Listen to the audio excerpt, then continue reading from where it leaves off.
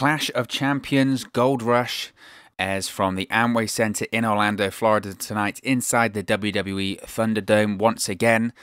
It's an interesting pay per view, I think. And instead of doing the usual predictions video that we would do on the channel, we're going to do something a little bit different here in that we're just going to do a couple of deep dive previews on some of the big matches for the show. So they're going to be coming out throughout today here on the YouTube channel. So make sure you subscribe to keep your eye out for them. Specifically, though, for this video, we're going to talk about the WWE Universal Championship match. I would probably say the most anticipated match of this show. It is, of course, WWE Universal Champion Roman Reigns defending the Universal Championship in this reign, reign for Reigns, in the first in his first title defense against his cousin Jey Uso. Of course, Paul Heyman is in the corner of the big dog as well. And let's be honest, I think if you look at WWE right now, and I think if you look at the the gulf in quality between the product on Monday Night Raw and Friday Night SmackDown. Friday Night SmackDown at the moment is just the program. It really, really is. It's just an all better, all round better wrestling program to watch. The match quality is better on there. The quality of story is better on there. Everything flows nicely. There is logic in the storylines. All of it is absolutely fantastic. It's gripping television. Some of the multiple storylines that are playing out on that show right now are absolutely brilliant. And I think a main driving force behind that is this Roman Reigns Jey Uso feud, specifically, though, the Roman Reigns return. You can trace it back all the way to the end of SummerSlam. Once Roman Reigns came back at SummerSlam, things picked up, and a lot of people can say whatever they want about Roman Reigns, and they certainly have in the past of if he's deserving or not for the spot, he was being forced into it, shoved down people's throats, etc. But you can't deny the quality and you can't deny the talent, and you certainly can't deny the big star that Roman Reigns is. And the last couple of months or six weeks or so since Roman Reigns returned, it's just it's just evidence of that. It's just absolute evidence of that. That as soon as he came back, things have got better. things have got better. You can only that, that's the obvious way of saying it. And this new persona, this new character, this new attitude of Roman Reigns is just been absolutely brilliant. And it's been the Roman Reigns, let's be honest, that fans have been crying out to see for a very, very long time. The heel Roman Reigns the darker Roman Reigns, just the more real, the more real Roman Reigns. That's what I I look at it at really is people can debate whether it's a heel turn, whether it's this, whether it's that. And I think in the grand scheme of things, you can consider it a heel turn because it probably is. He's going up against baby faces, and you look at his future opponents further down the line in the likes of The Fiend and Bray Wyatt, they are baby faces now. So by default, that makes Roman Reigns a heel. But I, the way I look at it is, it's just Roman Reigns being Roman Reigns. It's Roman Reigns being real. It's being more closer to Joe than Roman Reigns. I think that's the way to look at it here. So I think the Roman Reigns versus Jey Uso storyline and feud has kind of been something that's taken a lot of people by surprise. I mean, you have to look back on it uh, coming out of Payback when Roman Reigns captured the Universal Championship for the second time in his career. The reports were, and a lot of people were saying, okay, this begins the Roman Reigns versus Bray Wyatt storyline, Roman Reigns versus The Fiend. This is what we're going to get. The Fiend is now a babyface. Bray Wyatt is now a babyface. Roman Reigns is a heel. And we're going to have these two guys feuding as The Fiend tries to win back what he believes is rightfully his, and Bray Wyatt tries to win back his favorite toy. I think a lot of people thought that's where we were going with it. So when we had that fatal four way on SmackDown to determine the number one contender for the Universal Championship, and it didn't have Bray Wyatt in. I think a lot of people thought, okay, they're going somewhere slightly different first. Originally, it had King Corbin Sheamus, Matt Riddle, and Big E. Big E was taken out, and you had Jey Uso come in. And you also have to remember about this that technically, technically, and I know they've said on recent editions of SmackDown, oh, it was Roman Reigns that lobbied to have Jey Uso in there. And then Roman Reigns goes, no, no, no, it was all Paul Heyman. Paul Heyman, the special counsel to the tribal chief, was the one that wanted to have Jey Uso in that match. But regardless, it was either Reigns or Heyman that got Jey Uso into that match. Now, if you look at it from a Paul Heyman point of view, and you can really dig quite deep into this, you could say Paul Heyman looked at this situation and said, How do I get Roman Reigns to fully convert to the dark side? i have been discussing these things, and you talk about taking opportunities away from him. He had to step away, and they took his Universal Championship opportunity away from him at WrestleMania. Through sickness, they took things away from him, and this is all about getting back what's rightfully his, getting back to the top of the tree, and and uh, it's difficult because his rationale is actually so great. His rationale is so great because it's so true, as as an all good heel should be. So. Paul Heyman or Roman Reigns, whatever, they, they maybe put Jey Uso in there to perfectly I don't know, consolidate, confirm this heel turn for Roman Reigns. That's why I think it's so great. And that's why I think this is such a great feud. And we'll get into the promos and we'll get into the story that they've been telling in a second. But for me, at the moment, I still wouldn't classify in my in my mind Roman Reigns is a heel and he is going to be a heel. But he hasn't taken for me that definitive step as to okay, this guy is legit a bad guy. He is a bad, bad man. He hasn't taken that yet which I think is really interesting. He's got the demeanor of a heel. The way he talks is like a heel. The way that he's much more reserved and much more focused, and he's not smiling and high fiving any of that stuff. But he's still not fully, I would say, a heel. Even by association with Paul Heyman, he's not officially a heel yet in my eyes. And how do you cement that? How do you take Roman Reigns from kind of being like uh, he's got a different attitude, he's got a more serious tone, but he's not quite there just yet. How do you do that? You have him destroy his own blood. You have him destroy a member of his family, and I think that's what we're going to get at Clash of Champions. We certainly had it basically teased at the end of SmackDown this past week. So I do want to talk about the promos because I think that's been the real, real shining light of this story.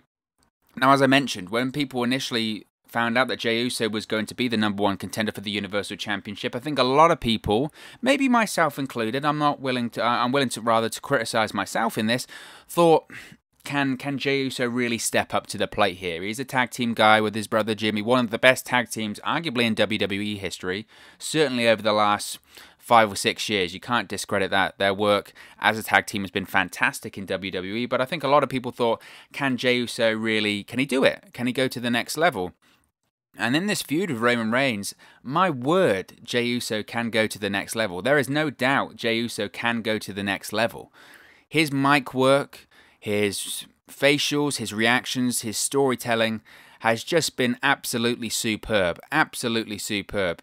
And the way they've been playing this storyline is that Roman Reigns is, is almost doing a good thing for Jey Uso. He's called himself the tribal chief. He's not only the leader of the WWE, but he's the leader of the entire sort of Samoan dynasty that's currently in WWE and the Samoan family that goes back generations in WWE. He's the leader of that now.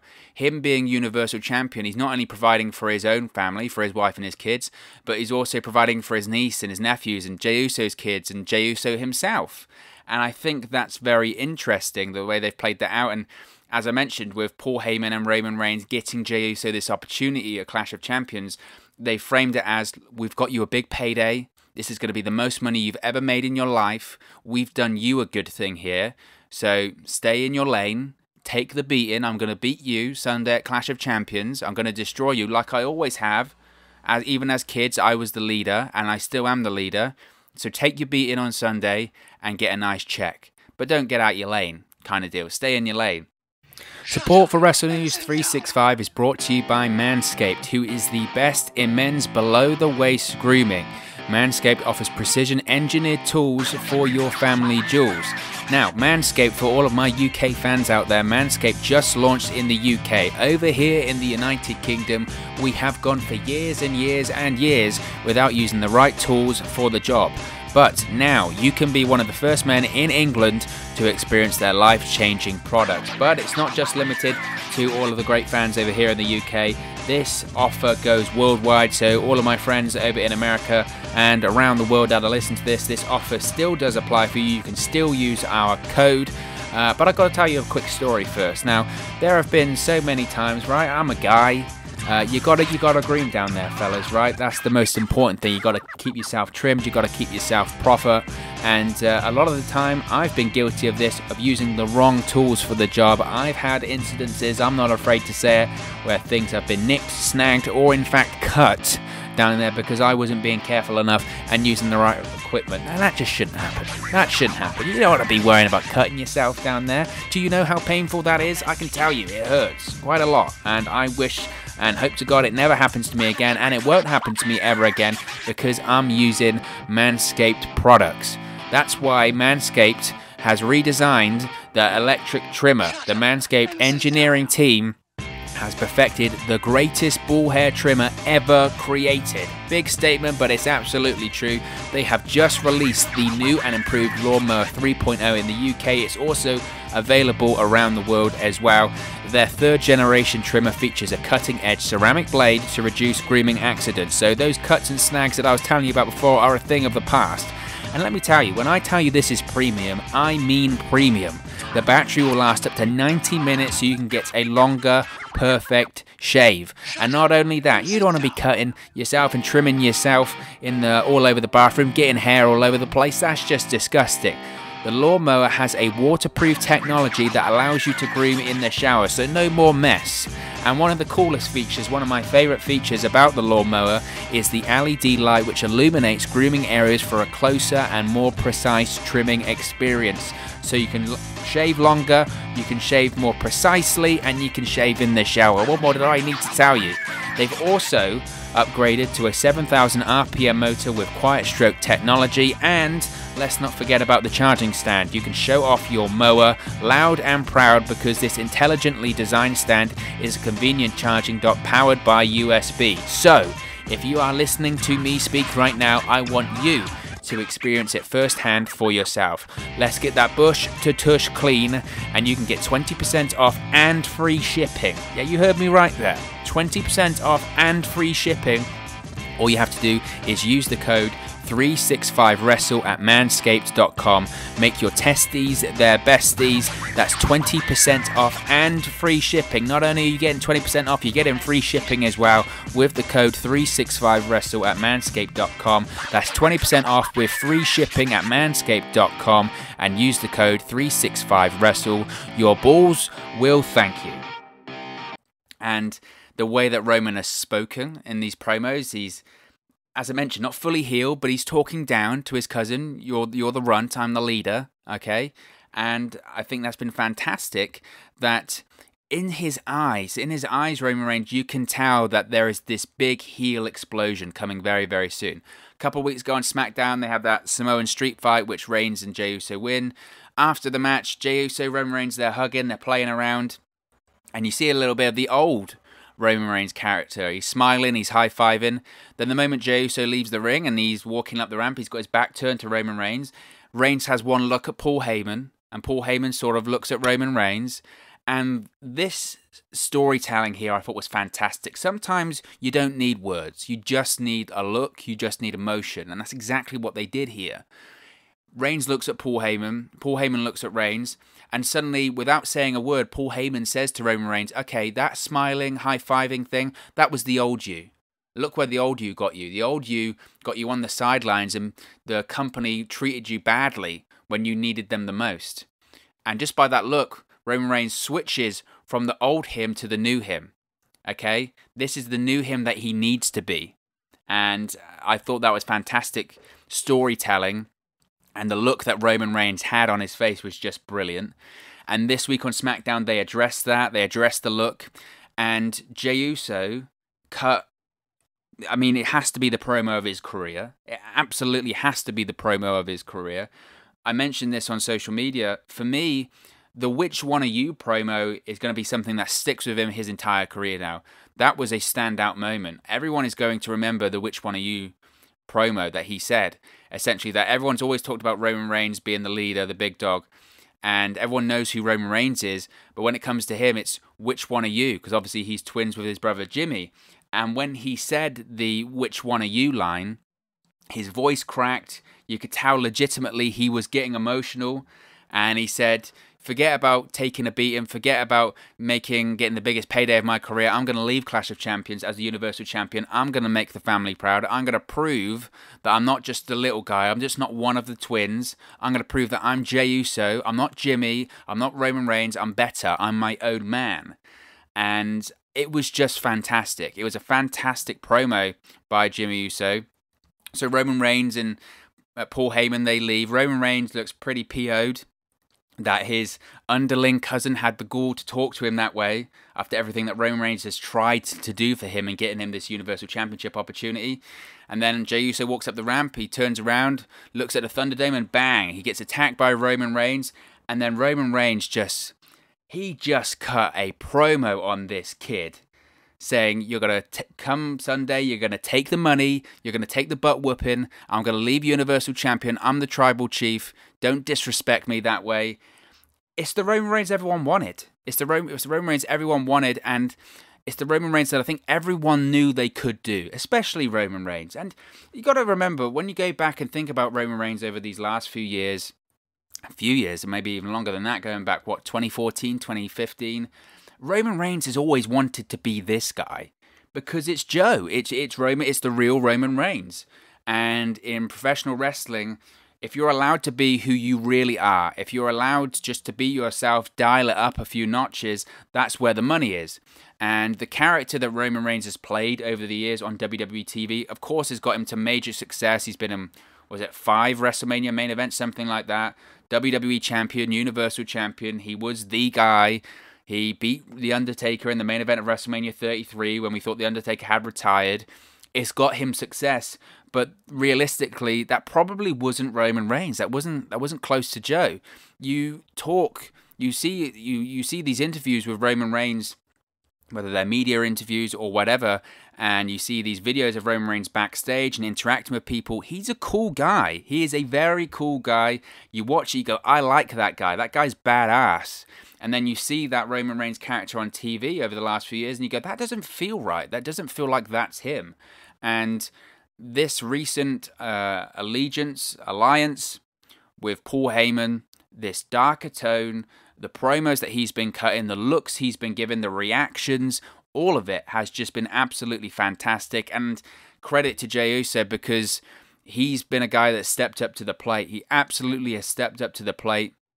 Now, let's be realistic here. I would be absolutely floored if Jey Uso won the Universal Championship here. He isn't going to win the Universal Championship here. That's just not going to happen. But I think a positive thing, there's numerous positive things out of this feud. One, it's Roman Reigns, this heel turn is working because every segment he's been in since he returned at SummerSlam has been an A plus. I cannot fault anything that Roman Reigns and Paul Heyman have done since they've returned at SummerSlam. You you can't you can't fault it. Everything has been perfection.